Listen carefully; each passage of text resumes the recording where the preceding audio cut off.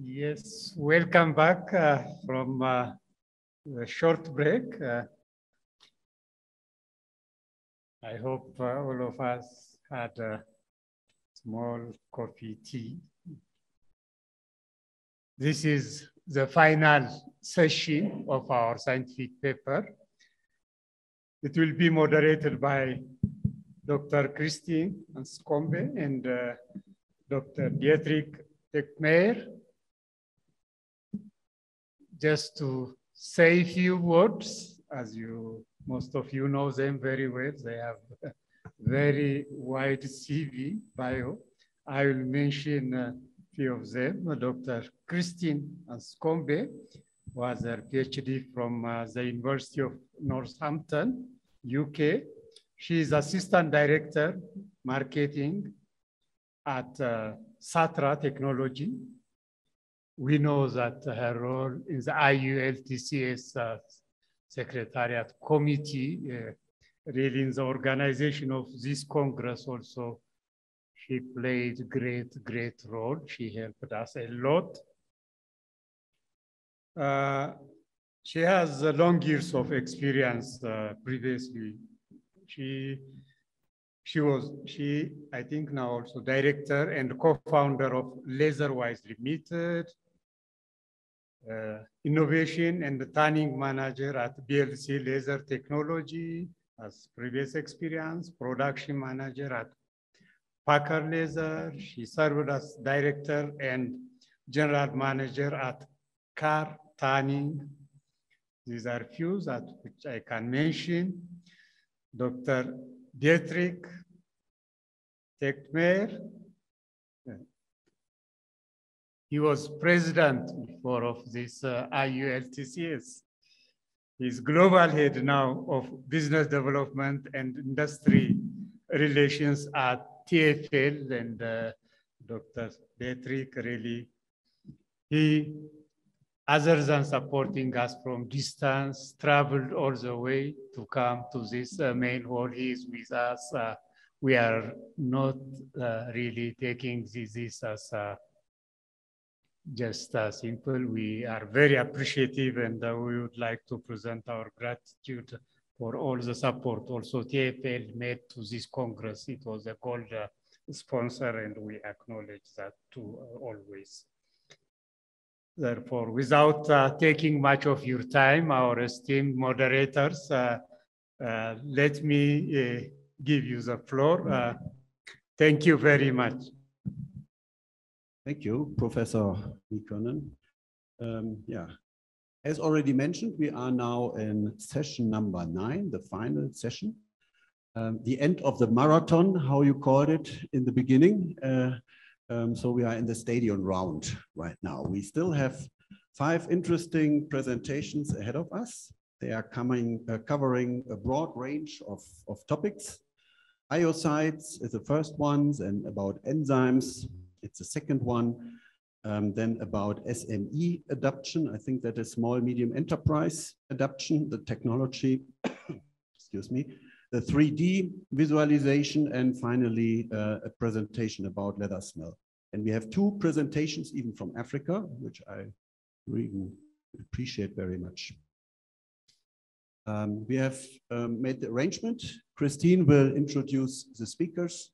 So I will pass on the floor to her. Thank you, Dietrich. Can everybody hear okay? Yeah, well, good morning, everybody. And I'm, I'm really delighted that the Congress is going so well. Um, I've been joining from the UK every day and um, yeah, I think it's been a great success. So this, this final session, I'm sure, will be just successful. Um, can I introduce our first presenter? It's Ms. Xu Xiaoyu from um, from China. She's a first year graduate student at the School of Light Industry, Science and Engineering in Shaanxi University of Science and Technology. Her major study area is biomass chemistry and material engineering.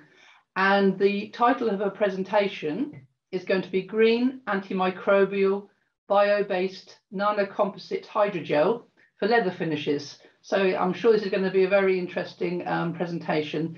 So do we have um, Ms. Xu is she available? I'm not sure if it's a recording or if she's there in person.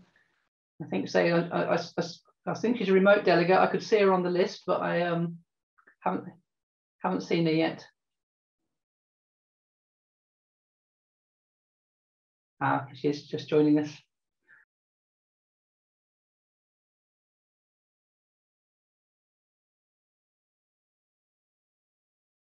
Hello, ladies and gentlemen.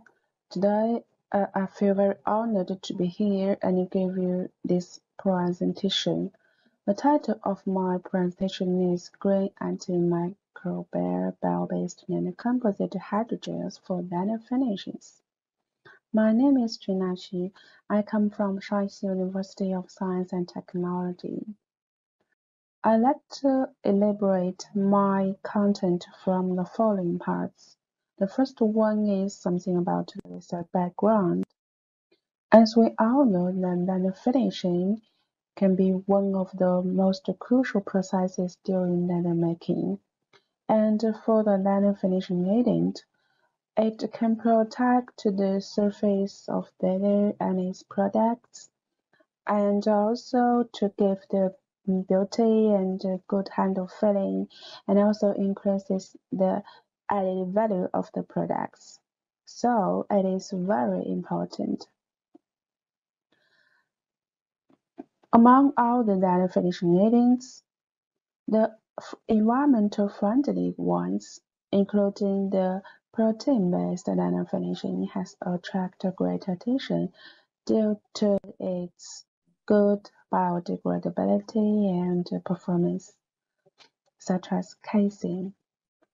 Casein film has strong adhesive force and uh, good moisture permeability and so on. However, due to the substantial polar groups in its structure, casein films is hard and brittle and cannot resist the water molecules. What's more, it is easy to be mutable. That means it cannot uh, cannot stand against the bacteria. So in order to solve these problems, researchers always use some other kind of polymers or some additives to increase the uh, flexibility or softness of casein films. In our previous study, since 2010, we have tried or successfully employed some inorganic nanoparticles into casein matrix. That means by regulating the morphology and structure, uh, we have introduced the silica, zinc oxide, titanium dioxide, and so on to give good functionality of the composite finishing agent.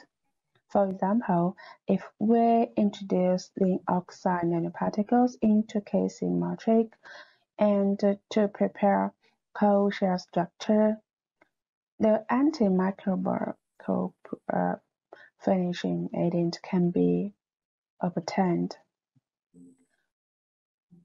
In order to further extend the application value and value of mm, this kind of nanocomposite, we focused on this kind of materials, that is, hydrogels.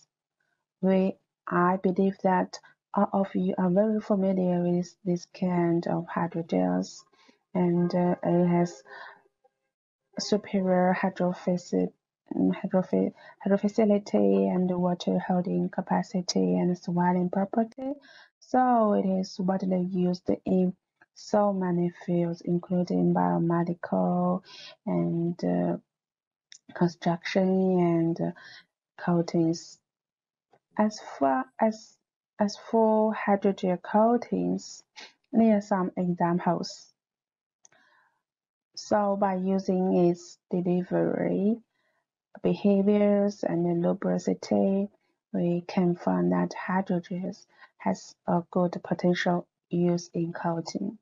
But up to now, uh, there few uh, there are few researches about hydrogel-based data finishing agents. Based on our previous study and inspired by the current research progress, our research ideas lies in that we combine casein matrix with nanoparticles together.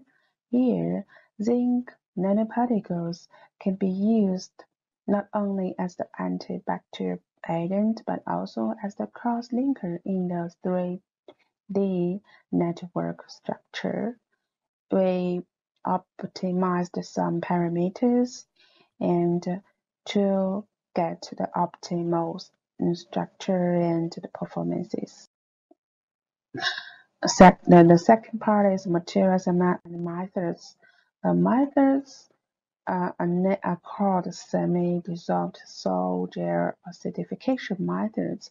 Here are some here are some uh, uh, the illustration of this process. We can find that by adjusting the parameters and the acidification condition, we can go to the uniform network. Let's move on to the results and discussion.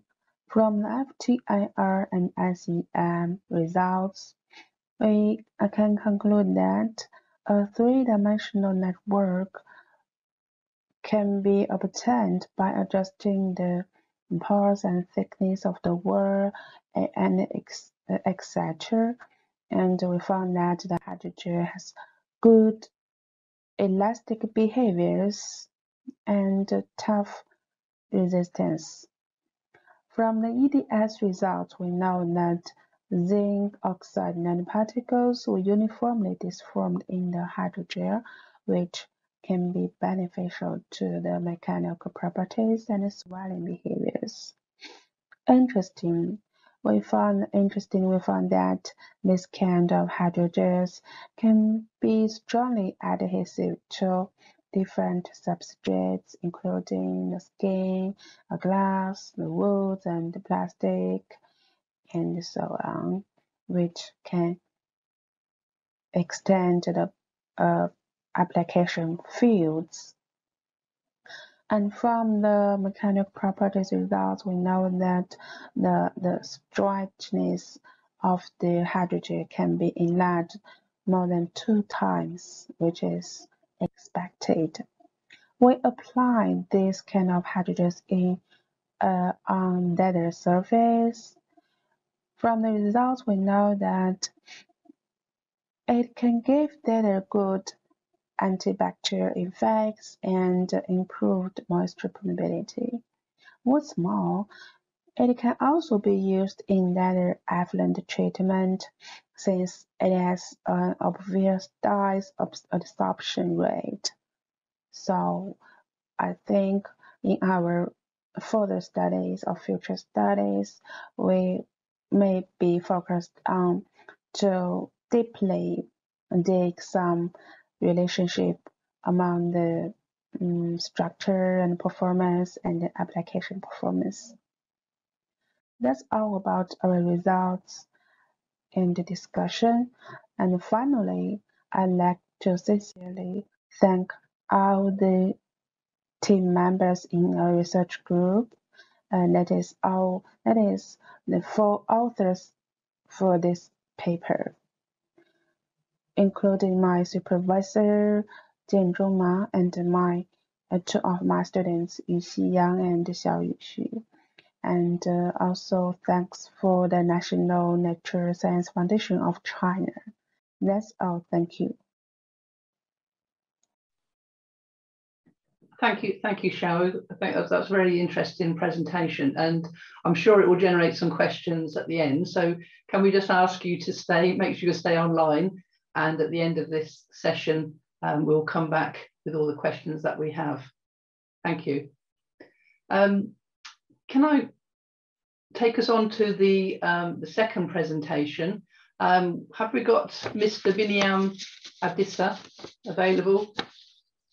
Um, Mr. Abdissa is um, from Ethiopia and he's a holder of an MSc degree in leather technology and is currently working at the Leather Industry Development Institute in Ethiopia, um, LIDI, if those of you know it as LIDI. And today, the, the topic is going to be on um, studies on optimization of amylase extraction using fabricated extraction column for fiber opening. So have we got, um, again, is it pre-recorded or do we have Mr. Abdissa with oh, us? Auditorium. He's standing up on stage. Oh, good, he's there. You got, you got him in person. That's nice. good. Is he, go, is he coming to the microphone?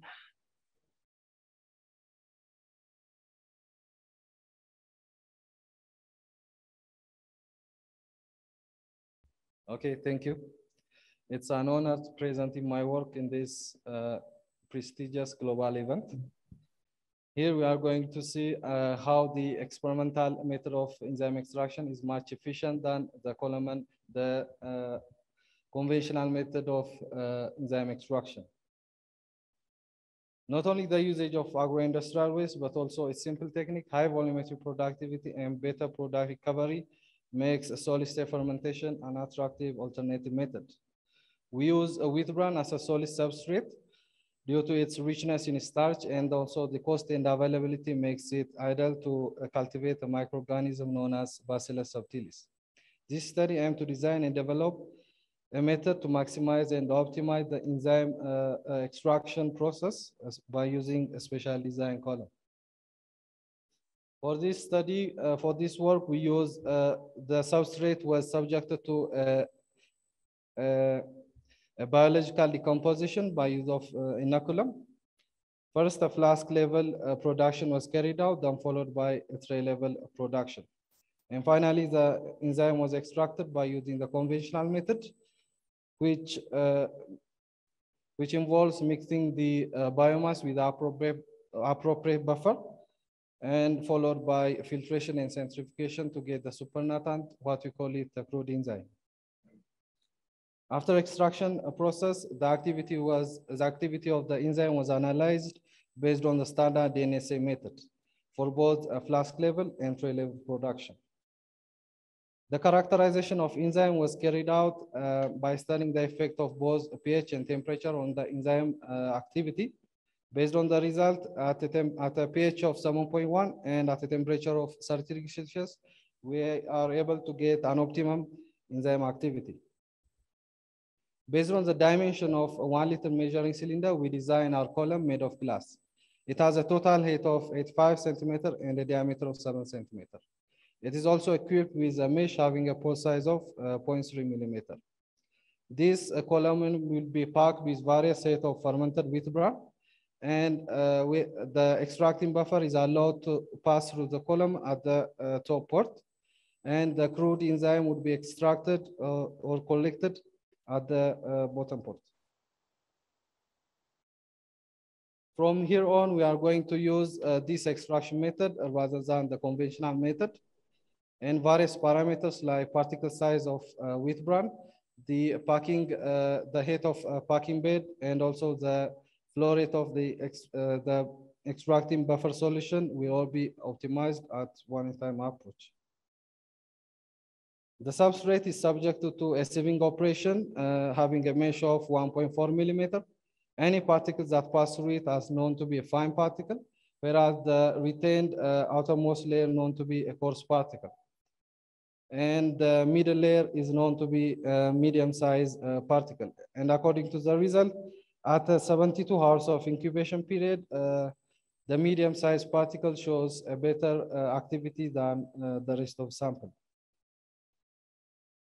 Various extracting buffer solution flow rates are optimized at a constant flow rate. Here, one uh, in order to uh, in order to uh, study their act, their activity on the in order to study their activity at constant at a constant uh, here, uh, one liter of uh, buffer solution, in our case water, is allowed to pass through the column at a range of 50 milliliter per minute up to 150 milliliter per minute. Finally, the eluent will be collected at different fractions and, uh, in addition to this fractional uh, comparison, we, we calculate the combined activity, which summarizes uh, each of uh, the fractions at their respective flow rates. Here, the combined activity for 100 milliliter per minute shows a better activity than the rest of the sample. The column will be packed with various height of fermented wheat bran ranging from 100 gram to 400 gram of fermented wheat bran. The combined activity for a 200 gram of fermented wheat bran shows a better result. In comparing a batch versus a continuous column extraction, uh, we should see some uh, basic principle. In case of batch column extraction, the column will be packed with a constant uh, fermented wheat bran, and the extracting buffer is allowed to uh, is poured uh, slowly and manually to the column. And after 15 minutes of retention time, the, uh, column, the crude enzyme will be collected and analyzed for its activity. Unlike batch uh, column extraction, the continuous column extraction involves a continuous flow rate of uh, buffer. And according to the result, the, the combined activity for the continuous column extraction shows a five-fold higher than uh, that of a batch column extraction. The working principle of single column extraction is obvious, but in case of uh, the dual column or double column extraction, it involves uh, two columns having same size and design for extraction process. It is in such a way that the buffer is fed to the first column continuously, and the output of the first column is used as an input or extracting agent to the uh, second column. And finally, the eluent will be collected and analyzed for the activity. Please note that the total bed volume used for single and dual column, uh, dual column extraction is kept constant. For this study, we uh, use various uh, bed volume ranging from 100 to 300 gram. In all, uh, the result, not only the fractional activity, but also the combined activity shows uh, higher result in case of dual column. The residual activity which uh, represent the activity of the, the activity of the enzyme in the residual biomass. Hence, the, the conventional method shows a higher residual activity than uh, the uh, experimental method of enzyme extraction.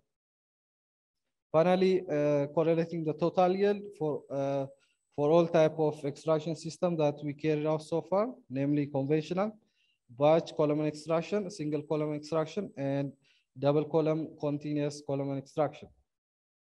From all uh, the extraction type, the continuous column extraction shows a 75% higher yield than the rest of extraction type. Finally, the enzyme which shows the highest, highest activity was taken for the application purpose. Uh, that skin was treated with the enzyme uh, ranging, enzyme concentration ranging uh, 2 to 5%. And various tests was carried out like proteoglycan release, physical strength, characteristics of the crust leather, and also fiber opening. For, uh, by uh, all, from all these result, the 5% treated skin shows a better result than the rest of the sample.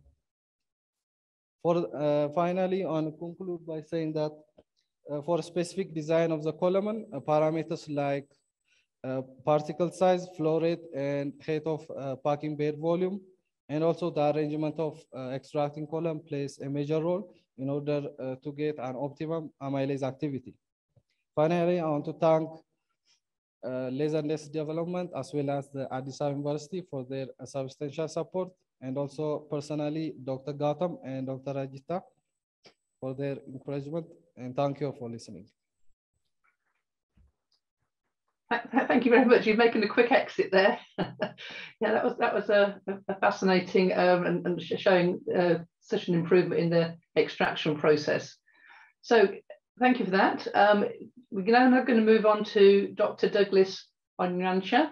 Um, Dr. Douglas is from Kenya and is senior lecturer at Dedan Kimathi University of Technology in Nyeri, Kenya.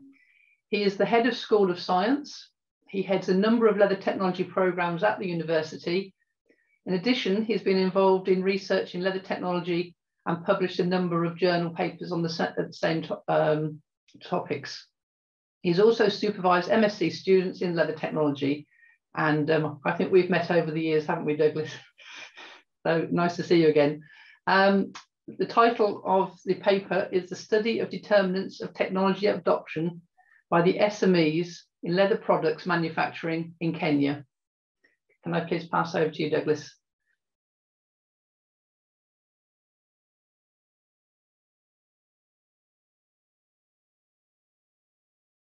Thank you everyone and welcome to this presentation and uh, it is entitled Determinants of the Leather Technology Adoption by SMEs in the Leather, Footwear and Leather Goods Manufacturing in Kenya. And as you have been informed, my name is Dr. Onyancha from Dedan Kimathi University of Technology. Um, my presentation is somehow uh, different from the others that have been uh, presented because you can see in the morning and the other days, they are talking about leather manufacture. Here we are looking about manufacturing of leather products uh, that's footwear and the leather goods. And we are also looking at what's uh, affecting uh, the technology adoption. My introduction will look at uh, the leather manufacturing industry in Kenya. as we know, leather is a very important material. This has been said before and it is a serious, uh, it's a, a, very, very important commodity in the global market. And as such, you will find that the volume of trade is so high. Actually, Kenya has a global share of an estimated market of about 140 million out of 100 billion. And uh, in, the, in Kenya, the leather industry plays a very big role, and actually, one uh, uh, it, it, contributes about 1.5 uh, percent to the GDP. And um, there are a number of products which are made, uh, ranging from footwear, garments, handbags, and among others. The other thing that we have to notice is that in Kenya, SMEs play a, a, a, big role in leather goods manufacturing and footwear. And actually, if you move around the town, you will find that um, around the major towns in Kenya, that's Nairobi, uh, Thika, Nakuru, Kisumu, Mombasa, there are so many SMEs involved in leather goods and uh, footwear manufacturing.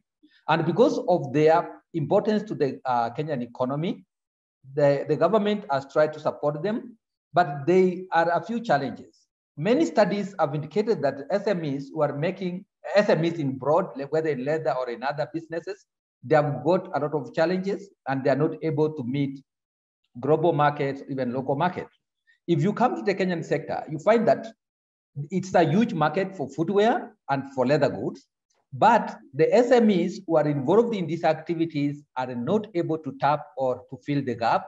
And in that case, um, there's a lot of imports coming in or uh, uh, to fill the gaps. The question is, why are our SMEs not able uh, to uh, uh, feed into the market? And our previous studies, which have been done, they have highlighted a number of issues ranging from finance, technology, uh, skills, among others. In this study, we decided to finger out technology adoption as one of the challenges and look at it and see what are the salient uh, problems that hinder uh, our SMEs uh, from uh, using appropriate technologies so that they can take advantage of the market. So when we talk about technology, people need to understand that manufacturing um, uh, technology evolves with time.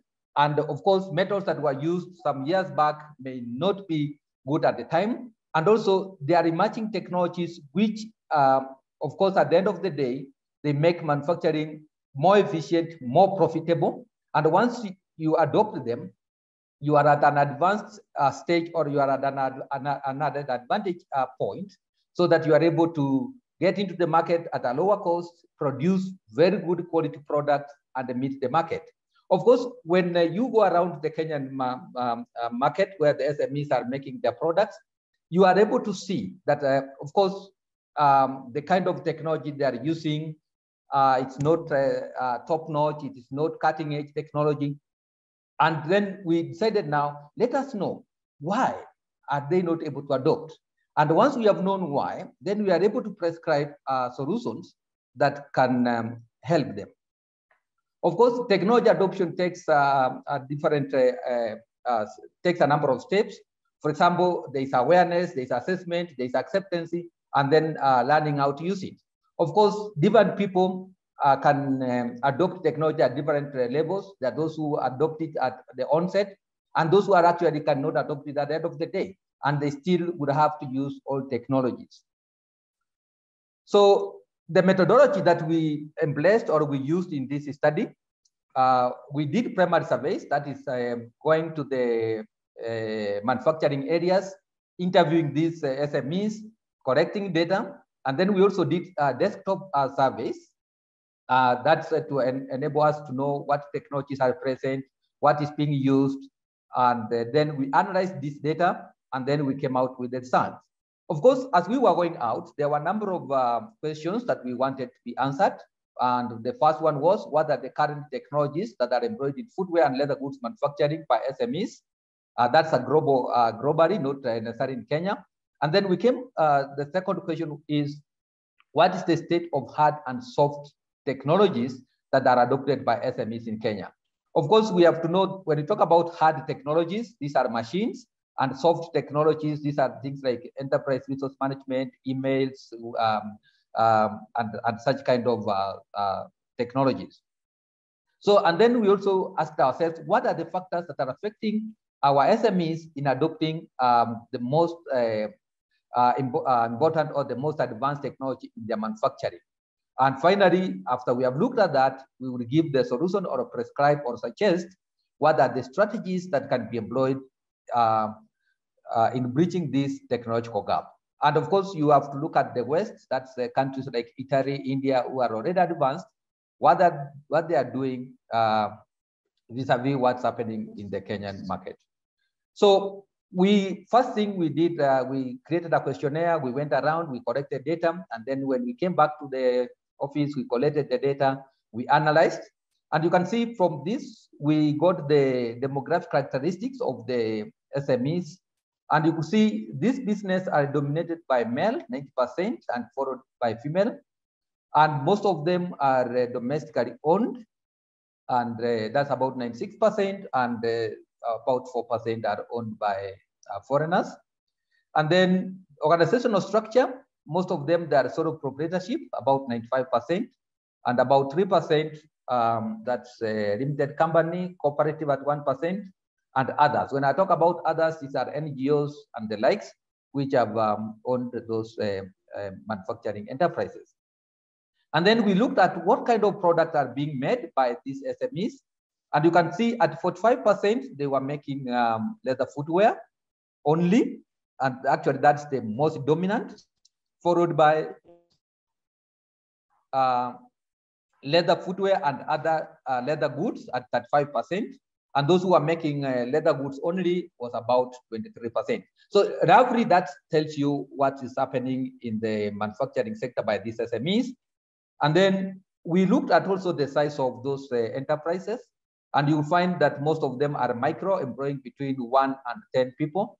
And then others are small enterprises um, um, or medium, which are employing about 10 to 50 people at 7%. And also we looked at how long these businesses have been existing because that's very important.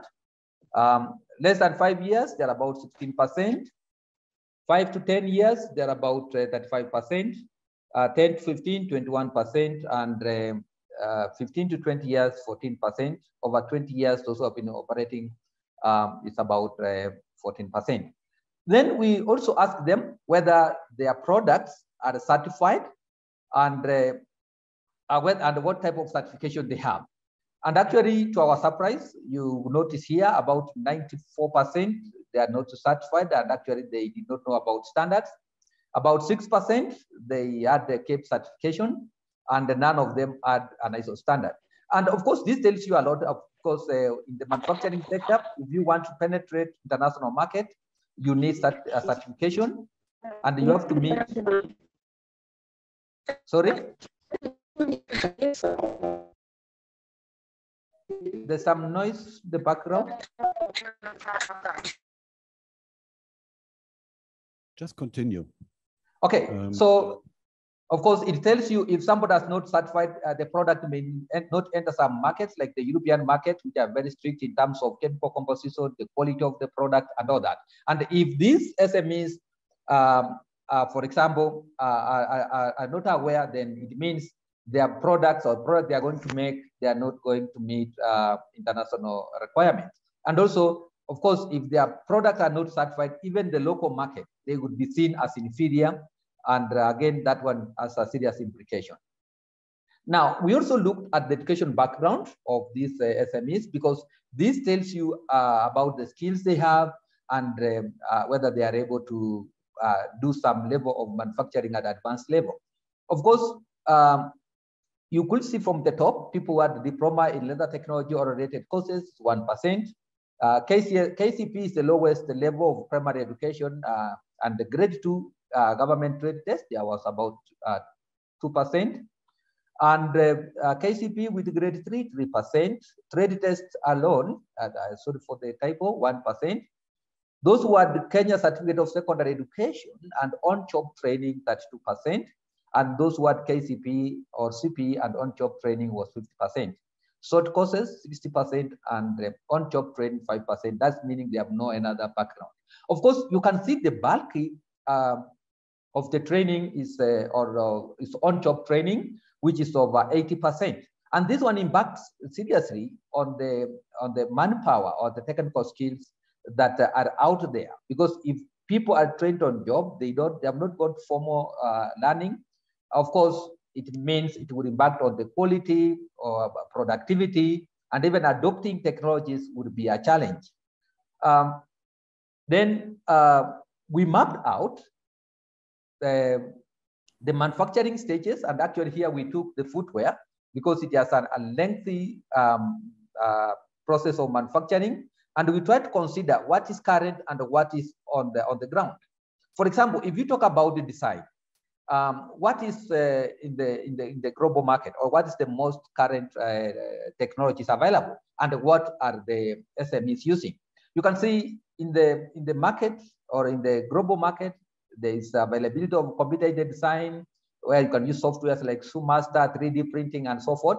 But uh, uh, most SMEs, they are not closer to that. When it comes to cutting and clicking, uh, that's another process. Of course, you will see they are using knives and scissors and other things instead of using a clicking press or uh, laser cutters. So you can see they're a little bit wafer because they cannot compete uh, in terms of uh, quantity because if somebody is using a clicking press, is able to make huge volumes. It's using a laser cutter, they are very accurate. You can program and have minimal waste. Then when it comes to splitting, again, you can see uh, and skiving, uh, the kind of technologies that are uh, available and what is being used. And even when you go to assembling, of course, you would find that, uh, of course, when we have advanced stitching machines, like the post bed, the cylinder arms, which can be able to stitch a, a shoe nicely, most of them, they are doing flat bed and uh, stitching. Of course, they get challenges when they are making their products. Um, you can go down to heating uh, so that when you are conditioning your shoe, what is happening and uh, what kind of uh, uh what SMEs are using. So in the, the other one is lasting. Um, most of the time they are using hand, uh, hand tools for lasting, while in the, uh, in the market, we do have um, lasting machines for all the parts of lasting. And in that case, uh, the kind of product that comes out is way superior compared to uh, the one done by hand tools. Um, so that's uh, the, the state of uh, the technology that's on the ground. And uh, if you now look at now how they have adopted hard and soft technologies, when I talk about hard technologies, that's uh, machineries and equipment. About 6% they have um, adopted to some extent, and 94 they are still using rudimentary and old technologies or other kind of technologies. Soft technologies, actually, when I talk about that, even marketing, what how are you marketing? Do you have a website? Do you use emails? Um, do you uh, do planning uh, using softwares? Uh, you can see it is 0%. Um, then we moved forward to look at because we asked them what are the factors that are affecting them or influencing them in adopting the technology. Um, I have uh, two columns here, three, uh, three columns here. One is showing the factors and the other one is the extent to which it is influencing the adoption. And as you can see, um, one of the factors that is having the greatest impact on soft uh, technology adoption is finance, uh, followed by uh, top management commitment, uh, then followed by human resource, and then followed by competition. Then in added technology, added technologies adoption, uh, the greatest influencing factor is uh, availability of finance, followed by uh, uh human resource uh, technical availability, and uh, again, the issue of competition, and then the issue of government support. Of course, when you go back to the other slide, you will see that actually the issue of technical skills is an issue because number of people who are working there, they are low level skills. And in that case, you may not expect them uh, to start using advanced uh, machines or advanced technologies. So that's uh, an issue. And then the other issue of finance, which has been uh, said uh, in most studies. And you can also see issue of government support and uh, competition. So looking at all this, we decided now how are we going to, or what are the possible interventions that can be done? So we looked at each, and then we are looking at uh, how they can be um, the major ones that finance and human technical skills and government support. So when it comes to finance, of course, this now goes to policy making. How are the SMEs going to get fina uh, financing? Of course, you realize that sometimes they do not have uh, uh, records so that they can access uh, funds from the banks or getting, uh, because most of the time you find they get funds from friends, they raise funds as a group and all that, which may not be enough. But again, we can make a recommendation that the government can avail funds that they can borrow at low cost so that they can support their businesses or they can get uh, again, the other thing is that you can show them documentation. This is how you show what you are working on. And when you go to the bank, you can be able to be financed and you are able to capitalize uh, your business. The other issue is technical or human support because uh, you realize most of them uh, get on uh, job training. Again, this issue can be taken up by creating training in, in institutions within the country, which will cater from the lowest level to the highest level. And in that particular case, um, affirmative action can be done. People can be sponsored, go to the training institute, get the knowledge, and then they come to the job market. Of course, this one can be done by the government, and I think our government has already uh, done um, uh, some steps towards that. And actually, as a university, we have also gone into training of human resource. We are training uh, a number of courses so that we can have human resource for the country who can be able now to fit into the market. That's for can be employed, they can be SMEs and produce goods that can meet global uh, standards or particular market standards so that the, they can also feed the local market with a uh, good quality product and they tap into this leather technology sector. The other issue on government support, uh, of course, this something has been tried in other sectors uh, of the of the of the economy in Kenya. For example, tax exemption, tax breaks on imported leather uh, uh machines, uh, on leather inputs. That one can be a huge boost into lowering the cost of manufacturing and also availing some technologies which can be very expensive. So if the government can be able to give tax exemptions to those machinery being imported, uh, they can become affordable. Again, the other uh, point which the government support us uh, can come in is uh, pulling uh, manufacturing um, equipment together and creating a center where people can go and use the equipment and pay a small fee because they are not able to buy a machine worth uh, millions. But if the government buys and places them in a central place, um, they can use that and they pay a, a, little fee. And in that case, they can be able to access technology and they can be able to manufacture very good products. And in that case, they are able also to access market. The, the last one. Excuse me, Douglas, sorry to interrupt you. Just to let give you a two minute warning. Um, okay. Because we're on quite a time a tight time scale. Okay. Thank you. I'm, I'm almost done. This is the last slide. The last one is competition. We know that uh, the, um, the, SMEs are faced uh, with a serious competition for importation of secondary products and substandard goods from uh, other countries, and also import of uh, leather products, which actually impact negatively. So again, the government can intervene there.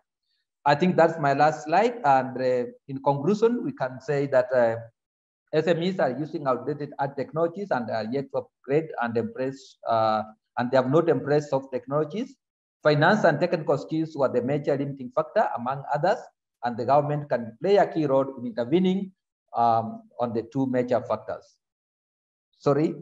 Uh, okay, fine. Uh, uh, acknowledgement goes to COMESA LLPI for financial support, uh, uh, University of Technology for technical support, and the two uh, bodies there which uh, gave us access to SMEs. Thank you so much, and thank you uh, for listening to me. Yeah, th thank you, Douglas. And actually, just um, you, you mentioned there, the important thing of training for the sector.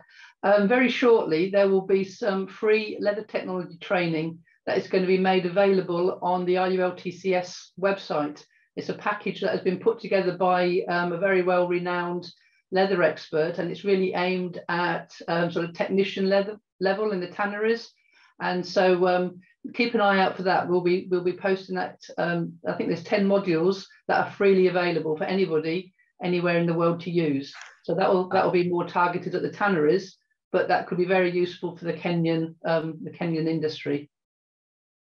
Uh, that's great. That's great. Yeah, we'll so we'll keep it. We'll keep it. We'll send out a, a, press release once that's available, but it won't be very long now. Okay. Thank you anyway. Thank you very much. Um, if I can just move on to our our next presenter now, I'm going to have a problem pronouncing the name, so I apologise in advance.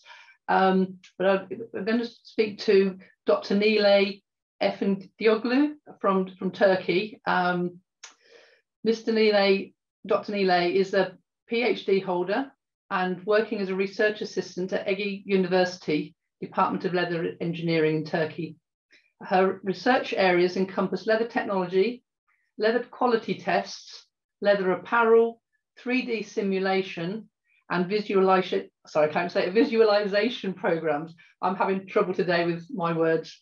So the topic is an investigation on usability of 3D visualization and simulation programs in leather apparel. So apologize for getting your name wrong and please explain to me how to say it properly.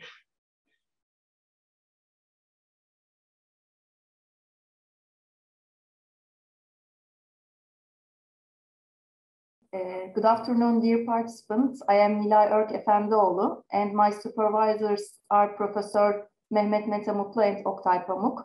Uh, my topic is uh, an investigation on usability um, of 3D visualization and simulation programs in leather apparel. And I want to proudly say that I am the winner of 2020 IULTCS uh, Young Leather Scientist Grant. And, and uh, additionally, this project is published by Journal of the Textile Institute.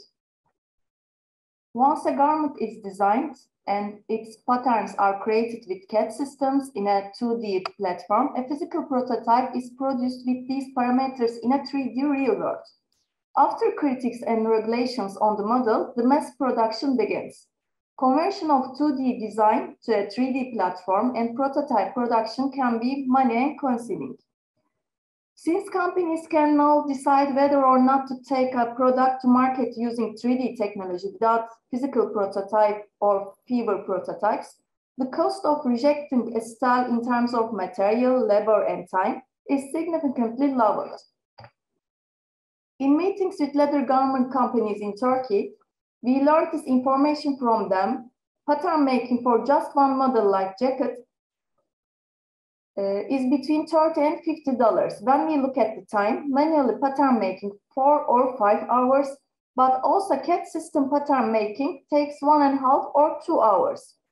I can say that when a company uses CAD system, it can be faster multiply two and a half times than manually in pattern making. In real life situation, after the pattern making, a sample is seen before starting mass production in leather apparel company. Due to the cost of leather, this sample is sewn by using unbleached plain fabric first. If there is any rejection, objection from the customer or designer, it is unstitched. If there is an error in the pattern, measurements or sieving, they are prepared and sieve again. After the sample is approved, this time a sample is seen by using leather material. If cost, cost, customer or designer does not approve, the leather material is completely discarded and wherever the mistake is made, that step is corrected and the garment is produced again using new leather material. In order to avoid waste time, labor, and money, leather apparel companies can buy 3D simulation program and obtain realistic simulations after applying the test methods mentioned in the study on their own materials. In this way, leather apparel companies can instantly see the pattern errors and uh, the incompatibility between the garment and the material and provide significant saving in terms of both time and cost of the leather.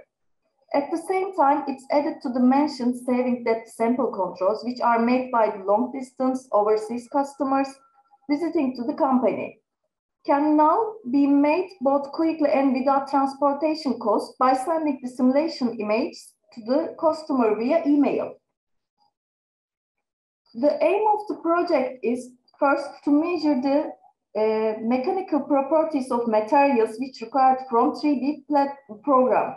Second one is to interpret the data, and the last one is to compare the simulation on the screen and real garments. Uh, but the main question in here, uh, that 3D program is suitable for leather and can leather apparel companies use it? In this project, uh, both garments and leathers uh, both leathers and fabrics materials were tested with test methods described in guidebook published by Assyst and alternatively with the FAST method. The material properties were interpreted and data were entered into the program by using guidebook. After the patterns of design dress were created in AssystCAD system 2D, and the dresses have been simulated in Assyst Vidya 3D program by using these standards. Uh, additionally, these dresses were seen by using the same material in real life.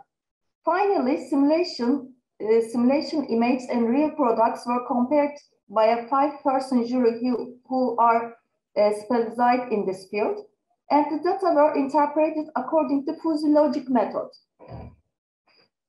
Our materials uh, here, table shows the properties of two different types of leather and two types of fabric materials used in the study. Also, we know that fabrics have thinner than the leathers, but first leather DM1 is close to fabric KM2. And it is the same thing on mass per unit area values. The samples were uh, here, the samples were conditioned and taken according to official standard test method here. The thickness of materials was measured in fast one compression meter system at two different load, load two and 100 gram per centimeter square. Bending lengths and bending values of the materials were obtained using the fast two bending meter system by hmm. using FAST3 system, the extensibility and the, of the materials was used under three different loads. In the James Heal drape meter device, photographs of the samples were taken by using a camera. Then the draping views of the samples in the photos were matched between the samples templates in the material entry of the Vidya 3D program. We will see them in the results part. Fabric friction tester device was used to measure the friction coefficient of the materials. The device gave the dynamic friction coefficient of the material surface. The data obtained from different materials by using in the FAST system are entered in the data entry spaces under the tab headings of the weft, warp, bias, and additional data in the Vidya 3D program considering the guidebook published by Assyst Company. A simulation of the clothes from each material in the Vidya 3D program were created by using the prepared patterns, newly defined leather and fabric materials, and 3D mannequin. As shown in the figure, the material entry screen consists of four main heads as base attributes, elongation behaviors, bending behaviors, and additional options. All tests and comments results entered in the program under the four main headings mentioned can be seen on the consolidated final screen. Necessary corrections can be made from the home screen with the four main titles as well as from this final screen. Vidya 3D simulation program is opened and the simulation program starts. The first screen is edit environment. Uh, there are different size of virtual mannequins in a 3D Vidya program, but in this step, the dummy to be used in the avatar tab is selected, which is 36 size dummy file prepared for this study. Since scene parameters are selected, in next step, scene parameters such as background, light direction, light settings, etc.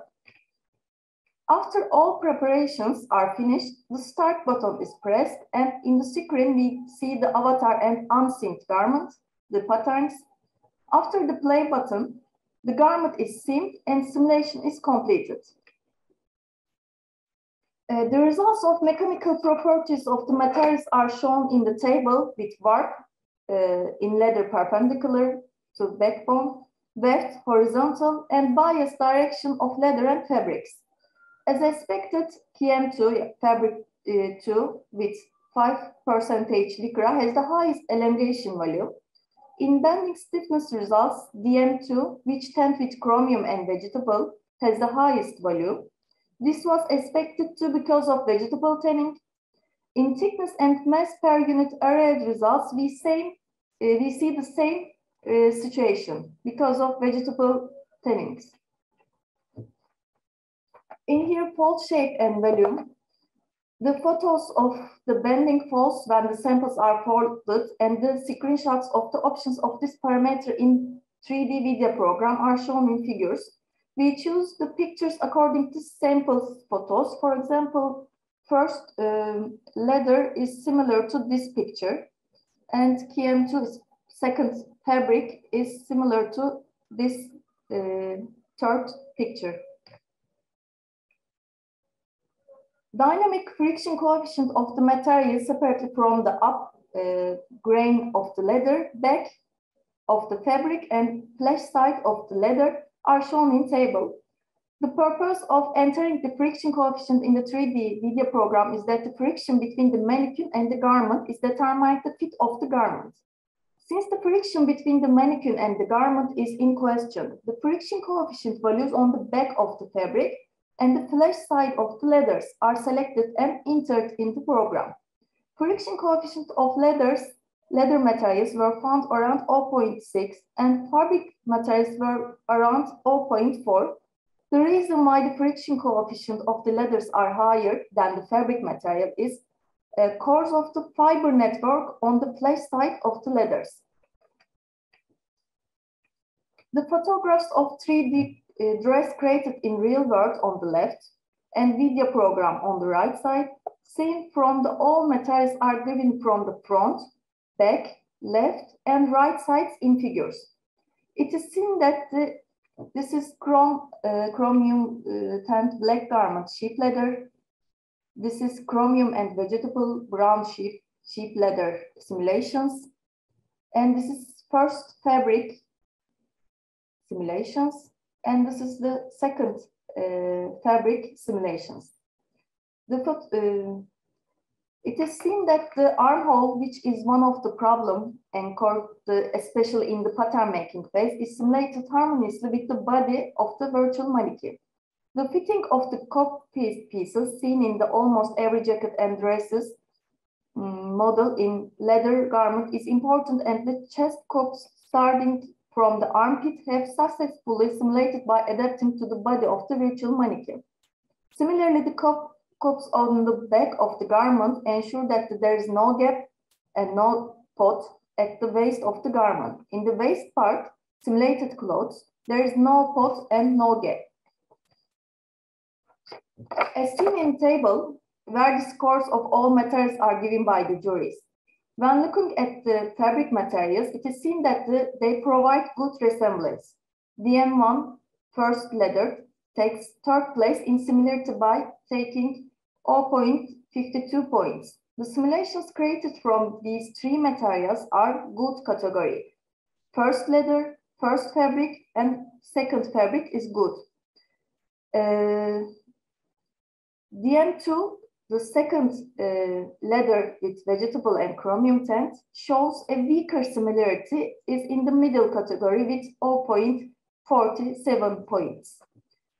These results can be considered normal since the DM2 has less bending, more weight and thickness, and Vidya 3D software is mainly for fabric materials. Table was transferred to the graphs in figure for easier visual evaluation. It is seen that the green bar representing first fabric shows high value compared to the values created by the scores of the materials. And the purple bar representing PM2 has the second highest rating, but on in third place in the criteria of fitting of left side.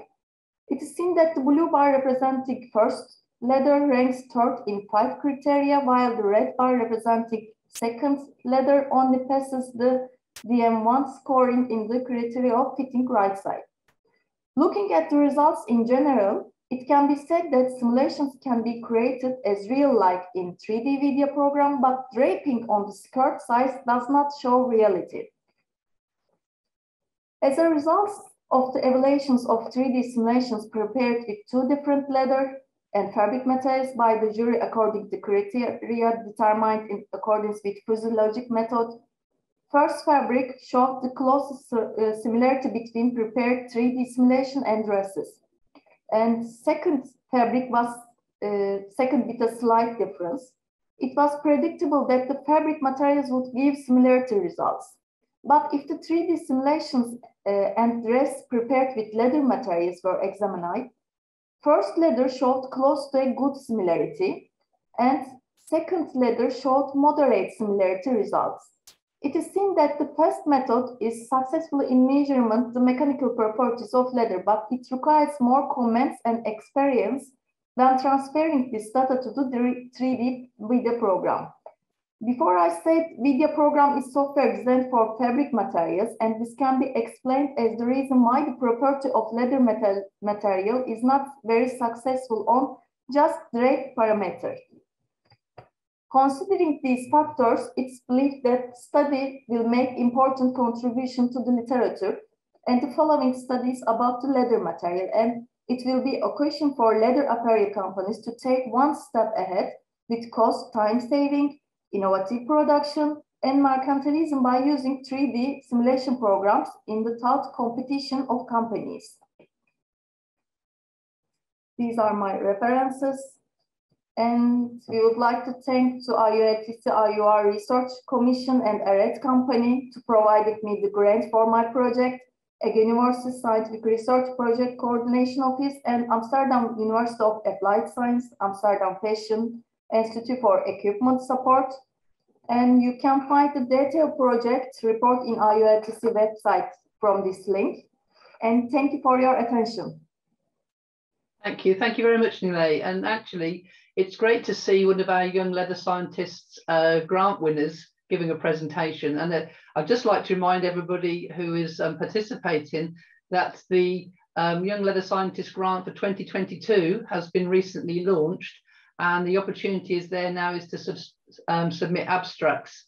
So um, again, if you go to the IULTCS website, you'll be able to find um, find an opportunity where you can get some funding towards your very important research. So thank you for that. Thank you. Okay, and I think we're just now on to the final presentation in this session, and then we'll all reconvene for some questions. Um, and that's with Dr. Rodolfo Ampuero. Um, Dr. Rodolfo is from Switzerland, is a sales manager, um, the automotive sector at TFL. Um, he has over 36 years experience in leather production and product development in the chemical industry. And he's been involved in the automotive leather sector for the past 20 years. So I think you must know an awful lot about automotive leather. And the topic of his presentation will be leather smell, the impact on Chinese automotive market.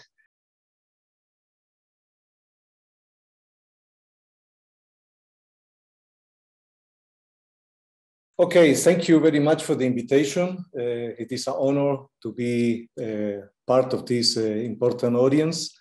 And uh, well, the aim of this paper is to bring the awareness of a topic that we as humans, uh, we never paid much attention, at least before COVID. Now we know that with COVID, we lose some of them, the sense of smell.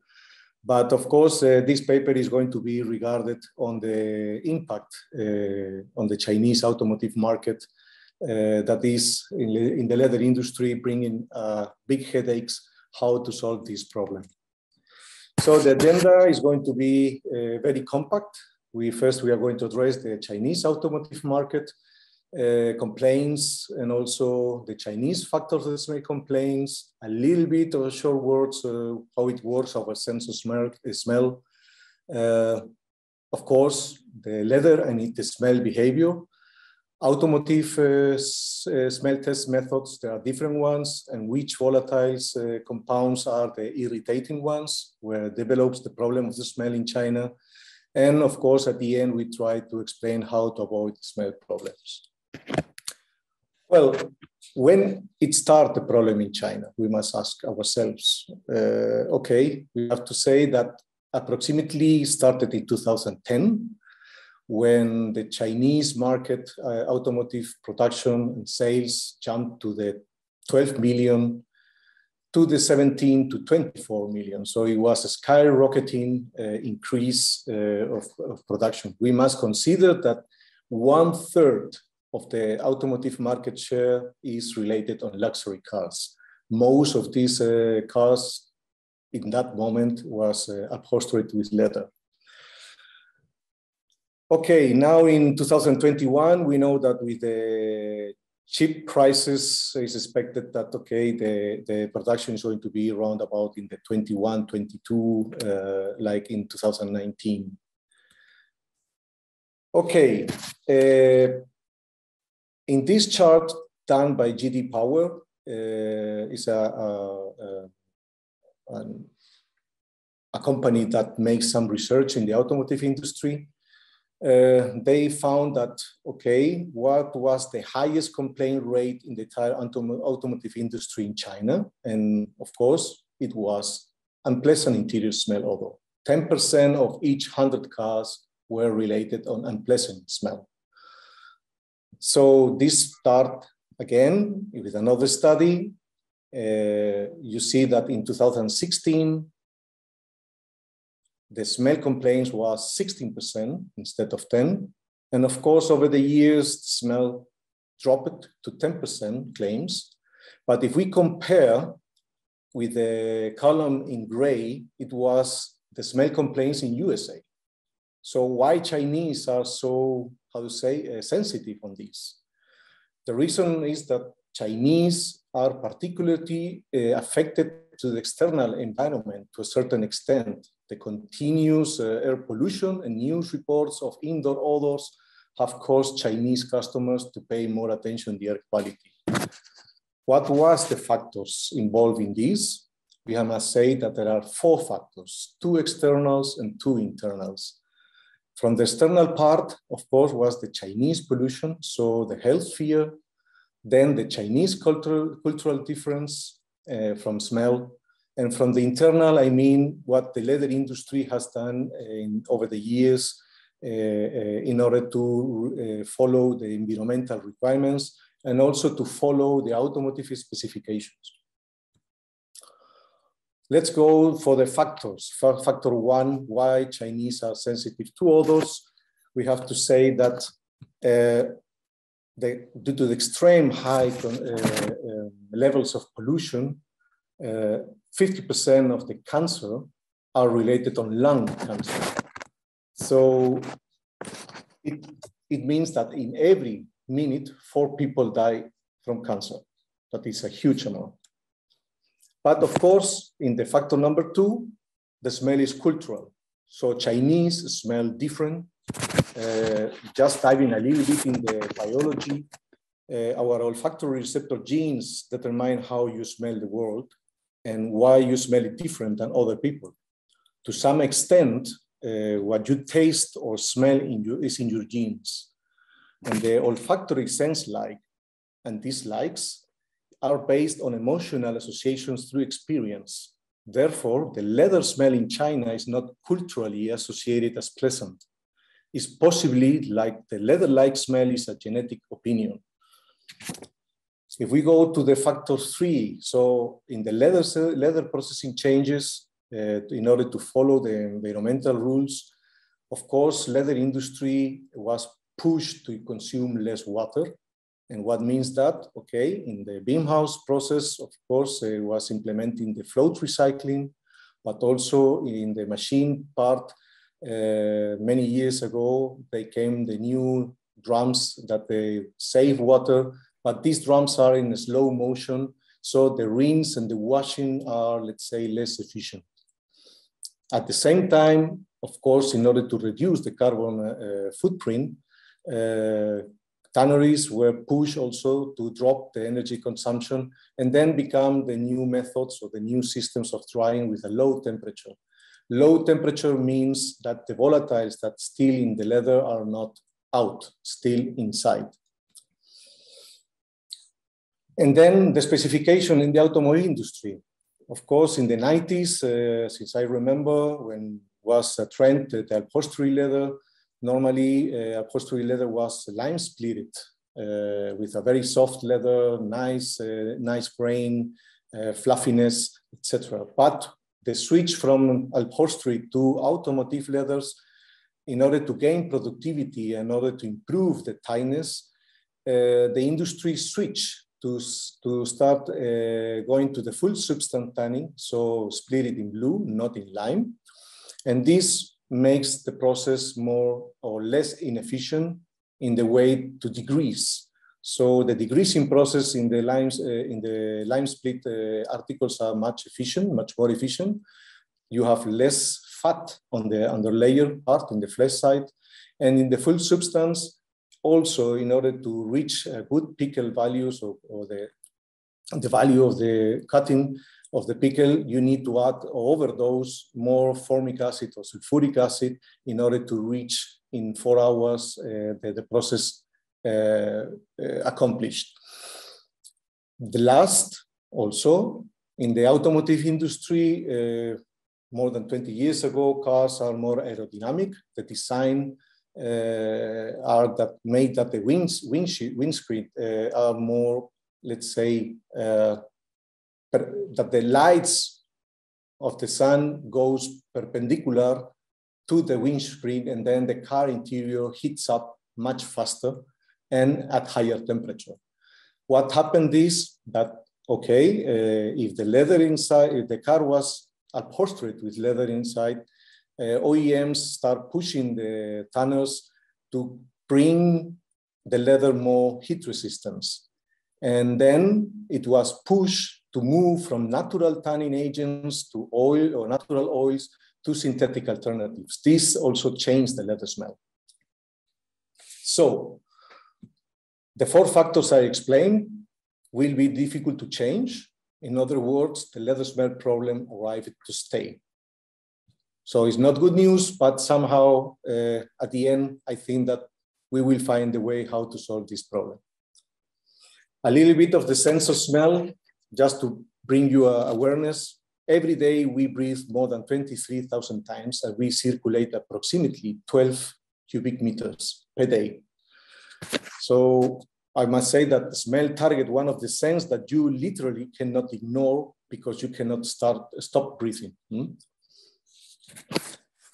How many uh, sense people can recognize. Okay, from the fragrance industry, they say there's 2,000 different scents we can recognize, but most of them are related to the good odors. From the bad odors or the unknown odors could be even hundreds of thousands or even millions of substances. Okay, the leather smell. What is the leather smell behavior? The leather smell is a mixture of many individual components, similar to perfume, the leather smell develops slowly after production. The leather smell lasts long. The leather smell change over time. The leather smell are influenced by humidity. In other words, we also said many times that the leather breathes. In this case, release volatiles, but also absorb volatiles. What are the sources of bad smell? Well, there are many natural fats and fat liquors, bioxidations of fats and oils, aldehydes, degradation products like amines, fatty acids, degradation caused by microorganisms, protein degradation, biocides, sulfur compounds from beam house. I must say that sulfur is one of the stinkiest molecule in the world. So, and we use it and, and luckily uh, in the leather industry as well. Also, of course, retanning agents have a big impact in and dyestuffs. So one hint, you must choose your chemicals during the whole leather making process with very cautious. Only one bad candidate, even a dye, can downgrade the odor tremendously. Okay, a little bit about smell evaluation. You, some of you, you know that, but many of the audience maybe not. You see this picture, there are some people there smelling in a, a glass uh, bottle. Normally the smell test, they put a specimen inside, they heat it up over a time and a certain temperature. And then uh, a trained panel jury, they put the nose and mostly they measure the intensity in some cases also the connotations or the hedonic tone they call. Here as an example, Volkswagen, they have a smell description of, let's say, all interior components that are used in the car. Uh, talking with uh, Dr. Dassler, uh, he told me that in the car interior, there are more than a thousand components and each component is tested single piece and has to pass through the smell test. But all of these thousand components, you can see all these names to identify. So how you can name the smells that is, uh, you need a very well-trained people in order to detect and to qualify in this. For us will be very easy in the yellow ones to detect it. Asparagus smell, cheese smell, coconut smell, fishy, honey, peppermint. But just tell me the red ones dull choking, lips biting, scraping throat, tongue burning. But okay, leather is there also as well. They have two types of smell. They call it leather fecal, so like rancid or putrid, or leather-like. What is the leather-like smell? As we uh, learned in, in a, many years ago, the Connolly leather smell was made then with veg tannin and nice, good fish oil. To complicate more the, the, the, the smell evaluation, each OEM has different test methods. VDA 270 is the, the German method that is uh, for the uh, automotive German uh, concerns. And you grade the smell one to six uh, from non-perceptible to non-acceptable. Ford, they rated one to five test back method, one to 10. Then GM, also one to 10. But the most complicated to perform is the Toyota test. Toyota test, not only they measure the intensity, but also you have to measure also with a scale one to five or one to three, sorry, which type of smell, like sour smell, sweet smell, burn smell, if it is one intensity or the two intensity or the three intensity. None of these methods correlate each other. So if you have a piece of leather that passes the German test method, doesn't mean that the Toyota test method will pass as well. So that makes really complicate the, the, the, the way how to go through. Which are the compounds more irritating in car interiors? You will see here the different components that are selected from low to high odor th threshold means that the lower the threshold, the component is the most, let's say, problematic or the most uh, uh, um, smelly. We have to check here amines. Amines are used in the Beam house with such dimethylamine or mercaptan compounds that or dye stuff that they have a pungent and fishy garbage odor. We have also ester compounds such butyl acetate used in finishing with ether-like um, odor making people feel dizzy, aldehydes, benzene, ketone, alcohols, naphthenic, alkyl, all of these components, most of them are detected in the test emissions in leather. Doesn't mean that these components are 100% becomes from leather, come also for the car interiors. But nevertheless, all these components also in the leather emissions test are uh, detected. So how can we solve the problem? Of course, we need to identify off odors by analytic methods, identify the sources in the leather processing, and choose the right chemistry and processes uh, uh, in leather production. We need to work together, all work together to tackle the problem because it's not solved yet. Thanks uh, for your attention. Thank you very much, Rodolfo. Um, that was very interesting. Actually, one of the reasons I joined the leather industry when I was a teenager was because I liked the smell of leather. And I was quoted for that on BBC Radio 4 when they asked me as a student, why did you join? So it's interesting how everybody perceives the smell in a different way. And, it, and obviously to the point when it is actually a commercial problem. Oh, yes. like, thank you for that. Yeah. Right, Dietrich, I'm going to pass back to you because I think now we're going to bring everybody together and um, have the question and answer session.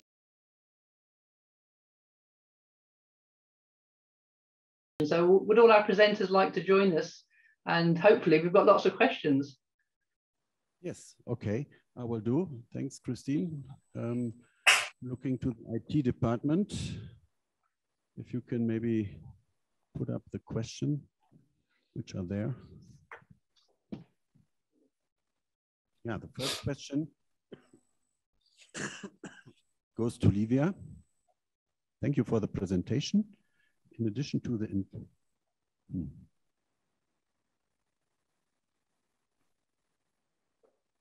so in, the, in addition to the intrinsic, ooh, what do we do? Ah, okay, then, excuse me. Um, the first question goes to um, Rodolfo. Thank you very much for your work and presentation. What are the most effective ways to solve the smell of leather at present? Mm. So yes, it's the one hour presentation again. um, but maybe you can, can, say a few words. Uh, can I talk? Can you hear me? Yes? Yeah. Yeah, we can okay. hear you very well. Okay, thank you. No, well, uh, we know how to solve the problem, but all these problems are against the environmental rules. Let's say, I would say, wash as much, wash as much as possible, dry uh, at higher temperature your leather as possible so you can release the volatiles. But definitely you or you have to avoid water recycling uh, because it's like you are washing your clothes with dirty washer, you know. So you somehow you are including some of this uh, pollution or, or, or, or, substance in that recycled water inside into the leather, and uh, uh, and you have to choose definitely uh, each product you have to test it in, in leather sing, in single in single additions and run smell test. And uh, but of course i cannot change the way how chinese smell. That is cultural. So that is inherent in the in the in the uh, how say in the brains in the genes of the chinese people. And there is let's say it's not not easy. On the processing are these the, the, the, the, hints that I can tell you. If you can do that, I think that you will uh, have a, a, a, a, less smell in your material, definitely. Yeah, thank you. And again, it's the smell is a result of many, many, many different components. And if you change a few one, the smell is not away, it's just changed. Yeah, that's what we also learned. Mm -hmm. So another question do we have? Again for you, Rodolfo. Mm -hmm. Nice presentation. According to your work, two people can smell one item differently. Is it good or bad? Do you think this also is working for um, hydrogen sulfide smell? well, a good question. Good question. Uh, reading many books, uh, the US Army, they were looking for the stinky bomb that every culture, every habitant in the world could reject this smell. And it was not possible. So there are some cultures that also stinky smell, like maybe sulfur, people like it because you can associate it for something pleasant. In the other way, uh, a, lady, a young lady, died her mother when she was six years old, and she was in the funeral. And when she was saying bye to bye bye to her mother, the funeral was plenty of roses. And the lady now is 50, 56. And when she smells roses, she's, she cries. So how the hell you can relate it? Okay, this is, let's say, rose is a, a pleasant smell. And you say, wow, nice smell. But somebody could cry. And on, on the sulfur smell, well, we, we said that is rotten eggs. We don't like it. So in our DNA, uh, since the microorganisms is the living form, this, the first sense of smell created was the sense of smell. So the microorganism learned to say, good smell is food, bad smell is poison.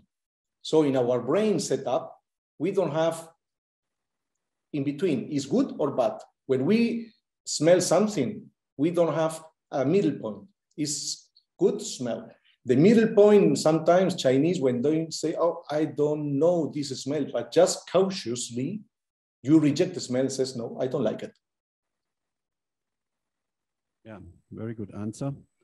Good or bad. I've never seen someone who likes uh, H, uh, H2S smell, but uh, in this case, I would say there is uh, um, no big differentiation. So, have you another question?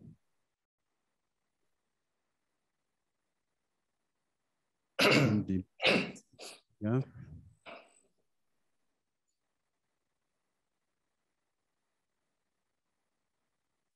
How, again for you, Rodolfo, how to measure the extent of smell in your work? Good and bad is one thing, but the extent is something else. Well, well, that is the hedonic tone you know, smell like fish, smell like uh, rotten, because most of this leather smell test, mostly they measure the intensity. But then you have to say at what smell. In, in, in Volkswagen, okay, it could smell something like uh, ink or like phenolic, but in Volkswagen, they don't measure the intensity, how, how much phenolic it is or not. It's just they wrote down. So the extension is the hedonic tone, and intensity. So uh, uh, in the test as well, also to stress and to release more volatiles, some of the tests, they put it water inside, humidity. So, but uh, let's say that the smell tests are measured by intensity and of course the hedonic tone. And uh, in, if you would like to correlate the smell, that never much, and you know, Dietrich, this, is that if you have low emissions piece of leather doesn't mean that doesn't smell. You need one molecule and then you get the, the you don't pass the smell. But okay, answering the word, the, the, the question, intensity and hedonic tone. These are more the, the, the two way of measuring the smell. Rodolfo, is it is it always done by human subjects? Is that still the most efficient way of doing it? Because you hear people talk about electronic noses and sensors. Mm -hmm. And so is, is, is, the extent of smell, is it purely subjective? Uh, yes, yes, because uh, I remember uh, uh, in a big, big automotive tannery, we, we ran a trial, 200 heights, 200 heights, same recipe, same origin, same formulation for an American company that works in operates in China and the States for the same model. 100 heights went to the USA, 100 Heights went to the China, same company, mm-hmm. same methods. In the USA, the smell pass. In China, doesn't. So, so the, the human cultural. It's cultural. Yeah. No, no, no, no way to, to, to you, you need to change the brain of the Chinese, not mm-hmm. Chinese. it's cultural. Okay. No. Oh, yeah. Well, we don't want to change brains. But it's what you said, uh, Christine, it's very uh, subjective. No? And therefore, these are very trained people at these people uh, uh, which are doing this. And then the intention actually they are giving on a subjective, yeah, um, and, and, they grade it between one and five or one and 10, what Louis had shown. Thank you very much for your work and presentation. Is it necessary to design a product that quantitatively detects or intuitively responds to gas on the leather surface when the car leaves the factory?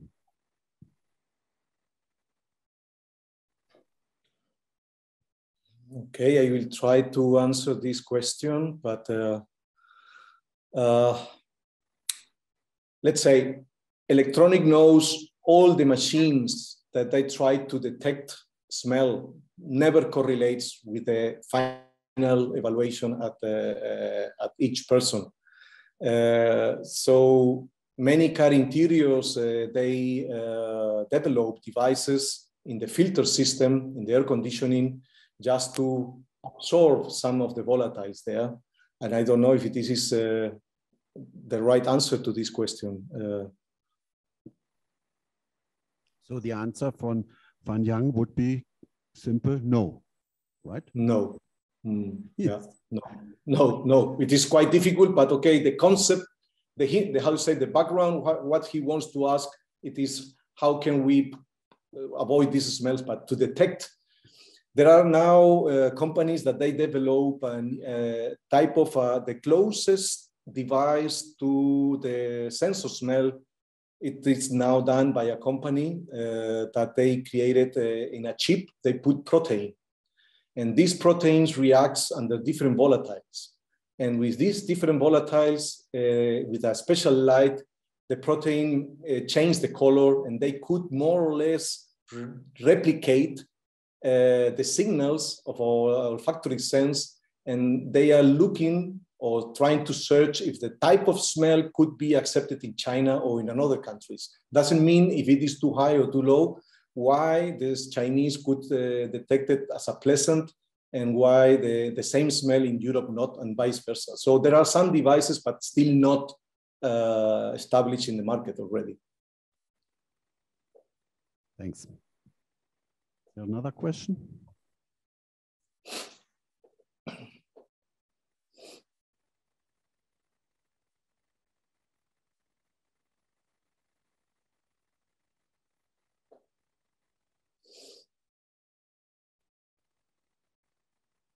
No. Yeah. Mm. Is the question to a chemical company. Is there a product which can reduce the smell? No. No. Let's say uh, there are products, of course, that could avoid some of the sources of the smell. Yes, let's say uh, when in the fat liquoring part, uh, because oxidation, of course, uh, fat liquors, good fat liquors, they are at antioxidants. But these antioxidants has also a time frame uh, effectiveness. So after time, the antioxidant is already used and then you will get it. But uh, one product that cover or mask or scavenge all the smells impossible. So the, the approach has to be in the in other way, and we are working on it, but still not having a, a final conclusion. But one product, no chance. Yes, that is um, what we also always found out. Mm -hmm.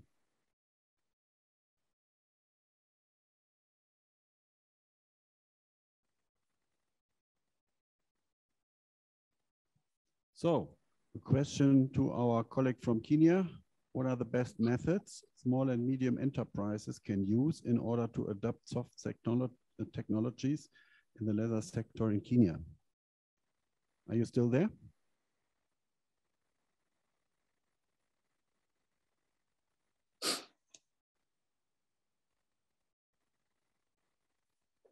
Mr. Onyancha?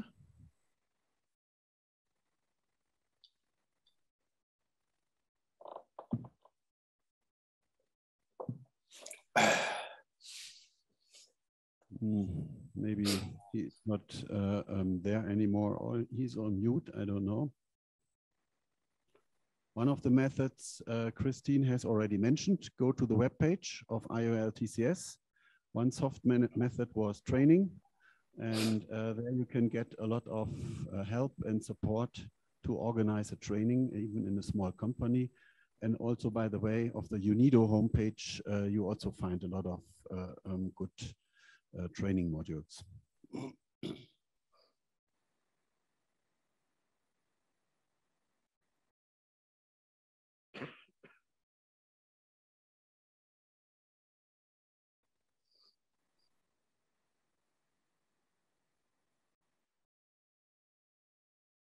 Ah, Christine, that's a question from you. yes, sorry, because I didn't want to keep butting into the conversation. So I just needed Rodolfo back. Um, Yeah, it just occurred to me because obviously the study has all been on based on the Chinese reaction to the leather. Um, but does that extend to all materials? Because obviously there are lots of vehicles, as we know, and as we are up against at the moment, where they are putting other synthetic materials in, whereas traditionally we would like them to have leather. Um, so do those complaints extend to those those materials too, or is it just very specific to leather? Uh, if uh, if I have to answer correctly, yes, synthetics in China or vinyl smell are mm -hmm. pleasant for Chinese. Right. Not leather. Uh, and I, I, have to go back also my own experience. I remember my mother when I uh, uh, put this uh, plastic foil on the books of my school.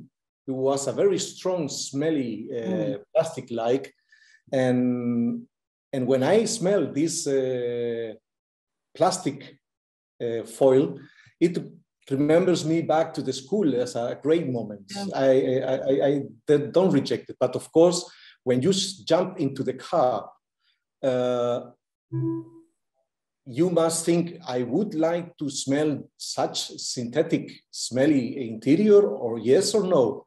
And definitely uh, Chinese, they grew up with plastic around, not with leather around. So in our culture, uh, we were more related that leather, we smelled our jacket, the jacket of our grandfather, or the shoe of our father, or the belt or the, the, the, the, so we, we, we associate leather smell with something from luxury item, but also familiar and Chinese uh, normally no. So synthetic materials, mostly in, in China, I would say are accepted. Accepted. It's, it's very complex, isn't it? The whole thing of the emotion that's yeah. linked, as yeah. you were saying about the lady with the roses. It, yeah. It's very deep seated and probably, yeah, there's no logic but it's yep. just you say what you've been exposed to from a very young a very young age. Mm-hmm, no, mm-hmm. okay because i say for us sorry then sorry I my, then i take back my remark that we will not change genetics.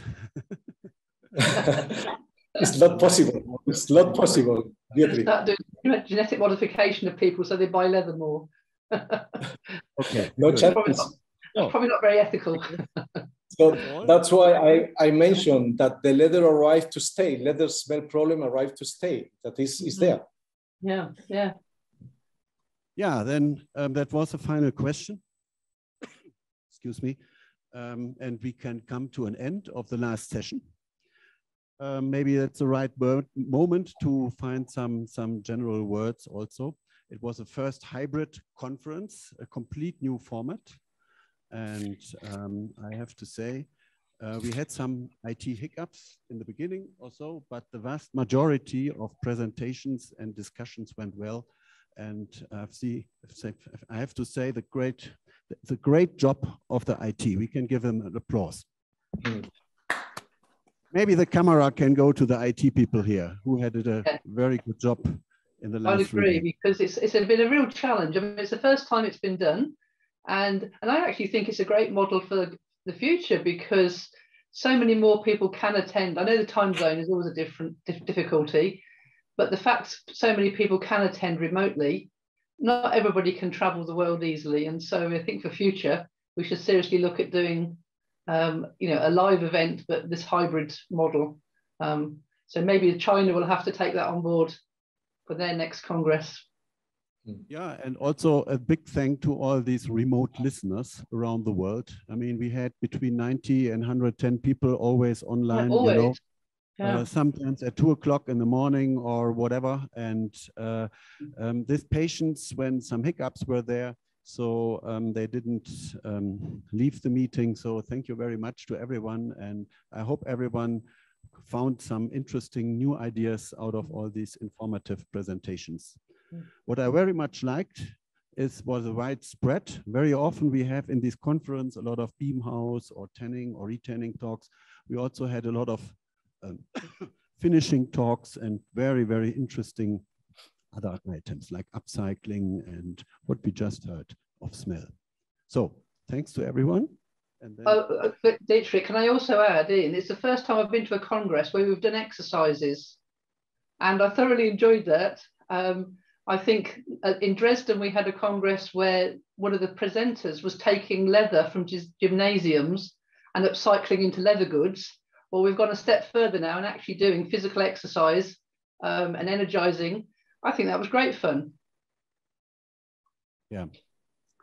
Um, now I just got um, informed that there are two other questions or three other questions. Um, to Ms. Xu, nice presentation. What kind of structure in the linkage is formed between zinc oxide and uh, casein? How did you ensure or determine the linkage between zinc oxide, NP, and casein in the nanocomposite beyond FTIR? So we still have five minutes, so I think it's uh, fair that we have these questions as well.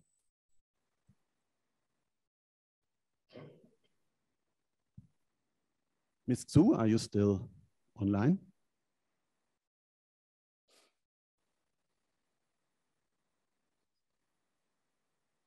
I hear something.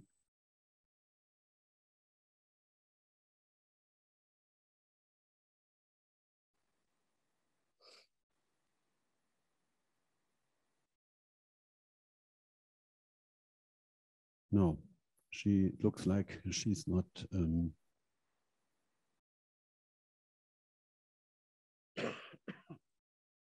to Mr. Abdissa.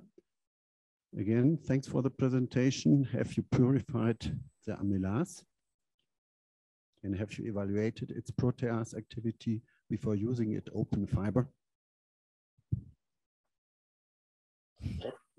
Okay, thank Mr. you. Abdissa, are you there?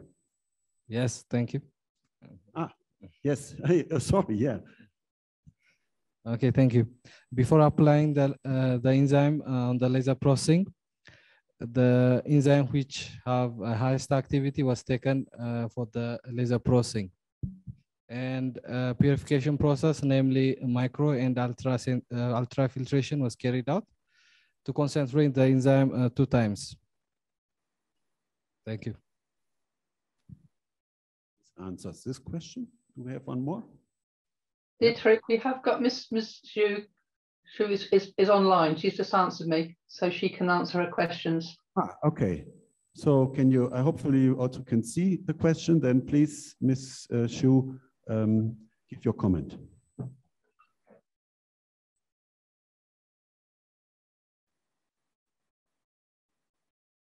We don't hear anything.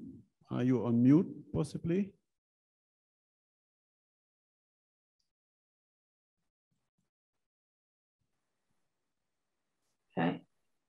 No, sorry. Then it doesn't work. Oh, you cannot hear me. Uh, no, she. Um, no, we can't hear you. She's asking me if we can hear her. Yeah, uh, then she should give an answer by, by I- mail. Yes, unfortunately, I can't. We can't hear. Have you? You're not on mute. You checked that your microphone is on. She can hear us, but we can't hear her. Unless the IT department can do something quickly. So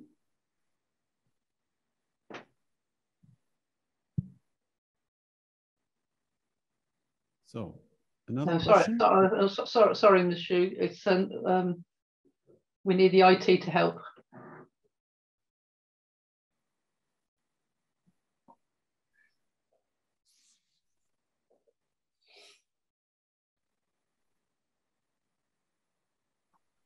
Let me just send a message to.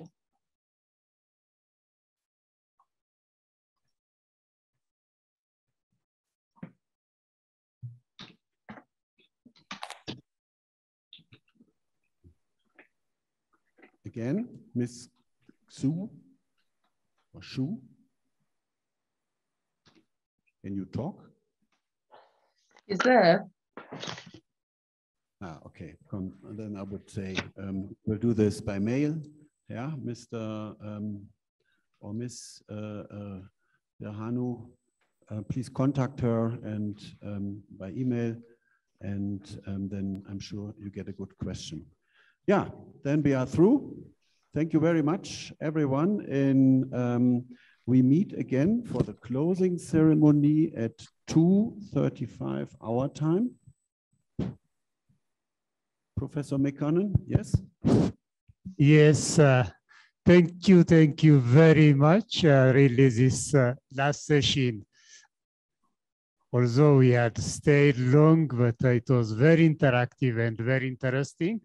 Active participation. We are grateful to our moderators, uh, Dr. Christine, Dr. Dietrich, all our participants. I think uh, they will also show us the certificates. Uh, uh, let us see those certificates of presenters. And I would really like to ask that um, the big auditorium is also listening to the closing ceremony. Even if there are no lectures, Mr. Chen from China will present the new, uh, um, yeah, the next IULTCS Congress, and we have to pass on the flag to him. Thank you. Thank you. The certificates are now being displayed.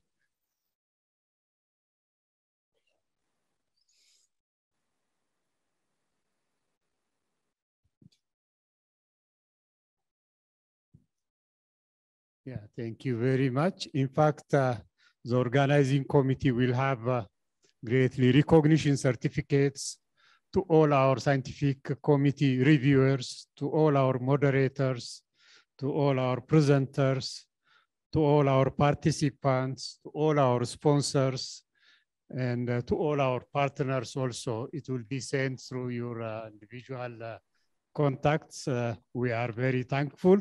Uh, we will break for lunch. Uh, obviously, after lunch, there will be a big official closing.